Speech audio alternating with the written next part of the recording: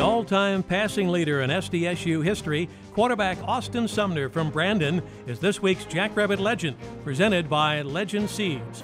Thrown into a starting role the fourth game of his redshirt freshman season, Sumner needed a month to get his feet underneath him.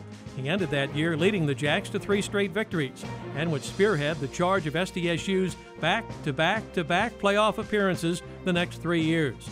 Nine times he threw for 300 or more yards, highlighted by his 395 yard day against USD in his final home game, the second most passing yards ever by a Jackrabbit quarterback. Sumner engineered each of SDSU's three playoff wins, ending his career with 65 touchdown passes and a school record 9,458 yards. Twice All Missouri Valley Football Conference, he was the league's Freshman of the Year in 2011. The greatest passer in SDSU history, Austin Sumner, a Jackrabbit legend. This Jackrabbit legend is presented by Legend Seeds, your regional seed leader.